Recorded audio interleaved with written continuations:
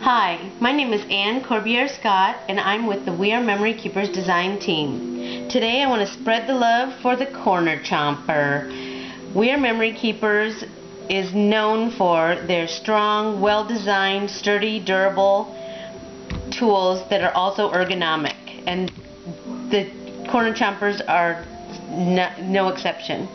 Each corner chomper comes with a different with two different distinctive cuts angle photo, scallop cloud, deco stub, and quarter inch and half inch corner rounders.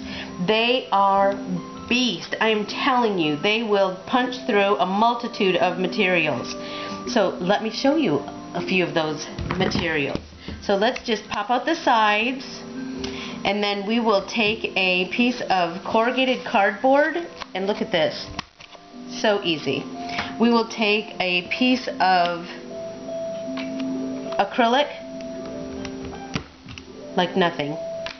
Um, magnetic sheets. I covered them in pattern paper and then just snipped the sides and I have a beautiful photo mat for a photo on my fridge.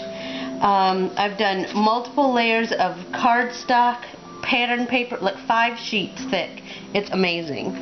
Um, another cool thing that I wanted to talk to you about was, do you remember back in the day when we used to, um, when we first started scrapbooking, we would mat every single photo? Well, I'm kind of going back to that because it really pops your photo. And so for this, I just um, use my half inch corner rounder on the on my photo mat and on my photo and then look at how streamlined and I just love that. It just totally sets your photos off. A cool thing that I did when I first got my um, corner chompers was that I made this visual aid for myself. I punched each cut um, and then labeled it. So I have this, and I just hang it on my bulletin board. So I just have this visual reminder of what each punch does and what that that that cut looks like. So then I can match it up to whatever project I'm working on. Ticket stubs if there was something a little bit old-fashioned vintage um, heritage photos maybe um, the possibilities are endless.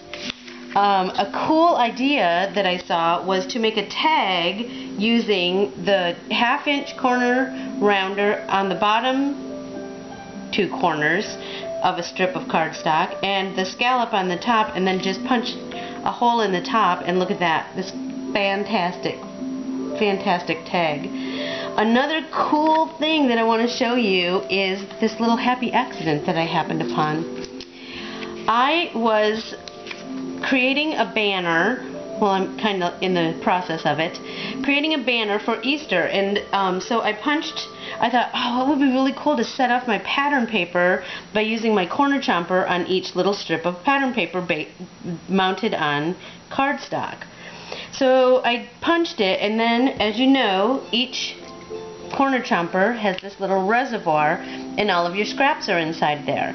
Well when I poured them out look what I found these perfect little reverse photo corners and I thought oh that totally sets it off doesn't it?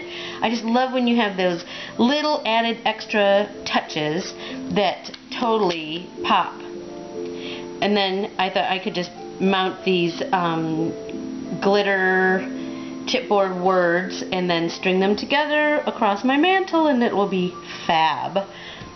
Um, Another cool thing that I saw was um, combining punches. So I told you that there are two different punches on each on each um, corner chomper, but what if you combine them? How is this for awesome? So you start out with the deco. That's pretty cool, but watch, this is even cooler. Now you go back with your stub, and look at that. You're going to add just that little, maybe like almost like Victorian touch to this corner chomper, or this corner chopped. I think that the possibilities are endless. I think that you guys will probably come up with a million more ideas than I, and I'm anxious to see them. So I hope that you learn something new today, that you go out and buy a corner chomper, and that you make something cool. Thanks.